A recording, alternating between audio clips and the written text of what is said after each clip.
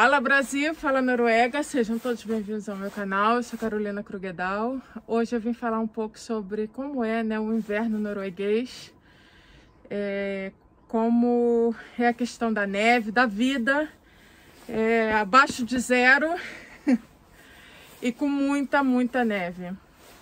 Porque tem muita gente que pergunta mas a vida aí para, as escolas são fechadas quando tem muita neve. Não, gente, isso não acontece. A vida continua. E eu vou contar para vocês agora um pouquinho como ela é. Bom, antes de mais nada, eu tenho que dizer que depende muito da região onde você mora na Noruega.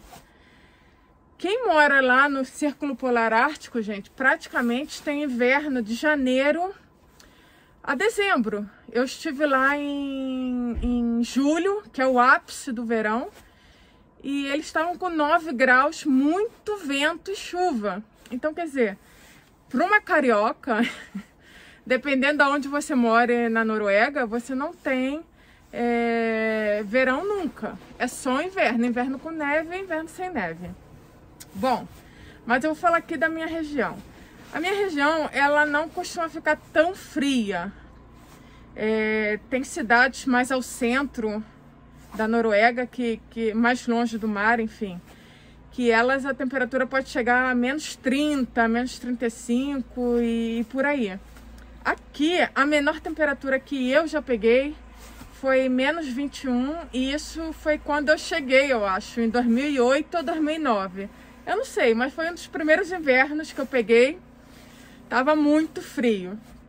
Mas graças a Deus eu sobrevivi. Não tinha roupa, não tinha equipamento, não tinha nada, mas graças a Deus eu sobrevivi. Bom, esse foi a menor temperatura que eu já peguei, menos 21. Só que a questão da temperatura, gente, ela não é um problema nem tão assim grande. Porque, por exemplo, hoje tá menos 4, é, não está ventando e, e, e não tá fazendo tanto frio.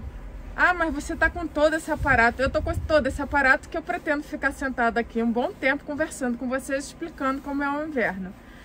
É, gente, eu tô igual a italiana. Eu vou cruzar assim para ver se eu paro de falar com os braços. Vamos lá. Continuando. Bom, é, aqui no inverno a gente ainda chega a ter luz solar. É, o sol nasce mais ou menos às 9h30, 9h15 e ele ele vai embora às três, três e meia, quase quatro horas. É, lá no norte não tem sol. Lá no norte é um inverno. É... Eu tô rindo que meu marido tá ali na porta fazendo palhaçada, gente. As crianças aí na sala, homem de Deus. É, o que que eu tava falando? Sim. É, aonde eu moro, é, o sol, ele tá nascendo mais ou menos, no, nasce mais ou menos no inverno. É, no pior período, tá? Que é dia 21 de dezembro, é o dia mais escuro do ano.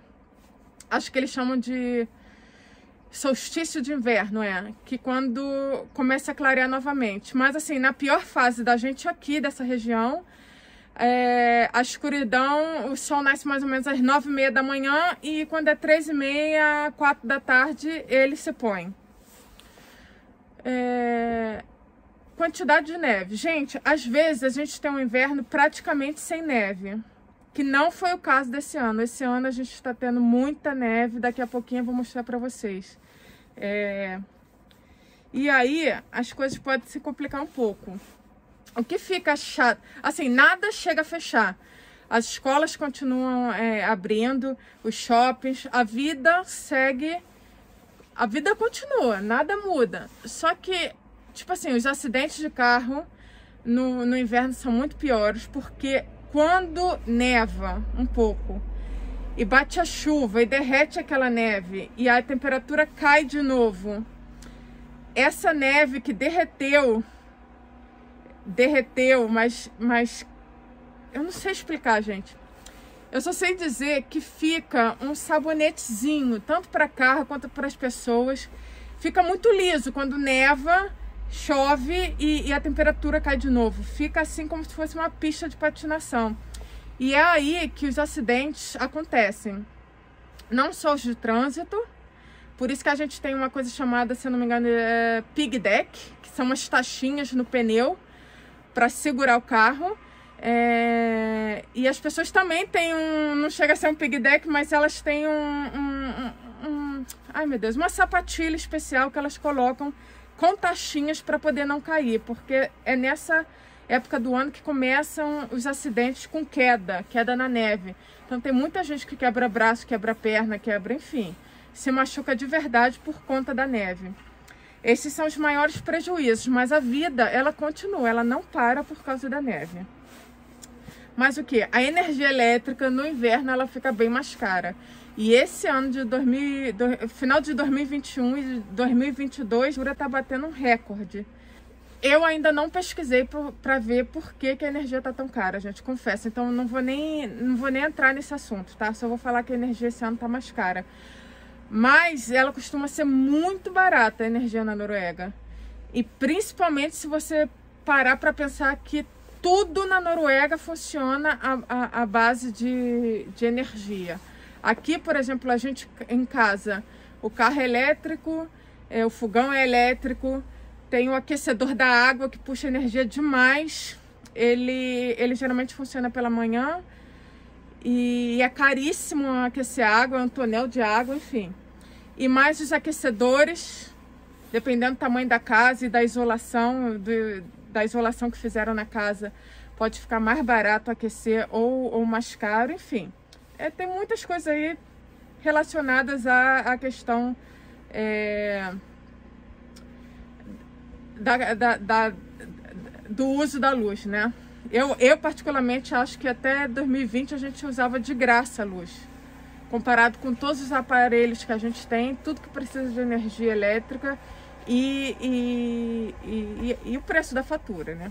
Mas vamos continuar que eu não venho para falar de luz. Bom, é, eu já falei né, quando o sol nasce, quando o sol se põe. As temperaturas. Vai depender muito de onde você mora, gente. A temperatura pode ser um pouquinho maior ou um pouquinho menor. Esse ano, a menor temperatura que a gente pegou é menos 16. É, menos 16. E, está sendo um ano atípico, porque geralmente as temperaturas aqui não são tão baixas. A gente fica aí numa média de menos 8, menos 7, menos 10, mas nunca chega a menos 16.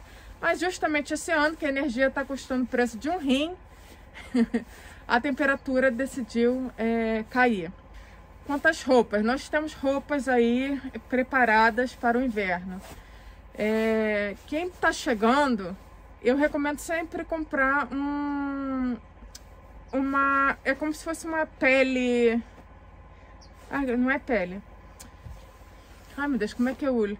Aqui tem uma vende um conjuntinho nos mercados de lã bem fininho para botar embaixo da roupa que é muito bom para quem tá chegando entendeu? A gente que está mais cascuda aqui ou a gente evita sair de casa ou a gente sai sem porque o corpo com o passar do tempo ele vai vai dando uma adaptada.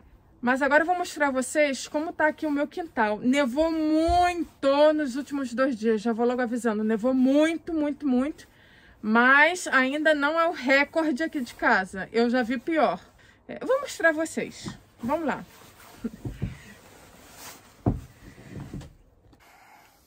Eu não sei se em vídeo vai dar para captar a situação, gente. Mas olha, é, isso aqui, esse, essa montanha tá meio alta porque meu marido, ele tirou a neve que estava na marquise.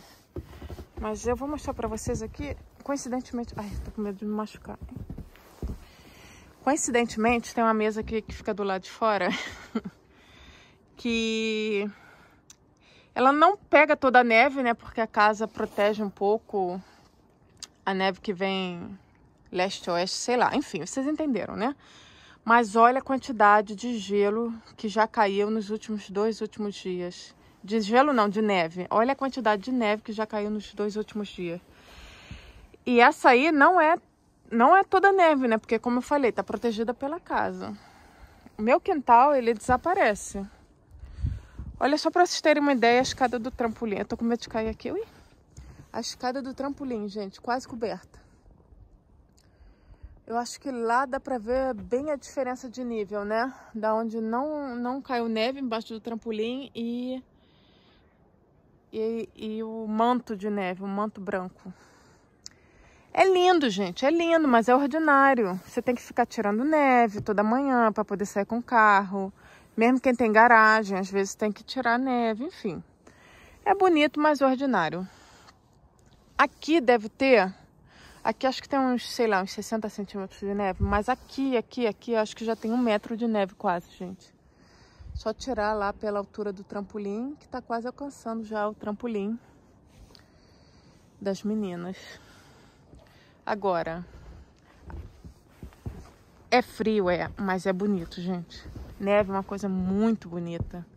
Quando tá caindo, quando se acumula assim nas árvores, nos arbustos, fica muito bonito. Só que quando vai derretendo, o que que acontece? O que que acontece? Vai virando uma lama preta também muito da feia.